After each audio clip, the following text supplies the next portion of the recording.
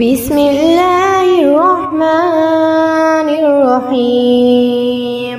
قل يا أيها الكافرون لا أعبد ما تعبدون ولا أنتم عابدون ما أعبد ولا أنا عابد ما عبدتم ولا أنتم عابدون ما أعبد لكم دينكم ولي دين. صدق الله العظيم.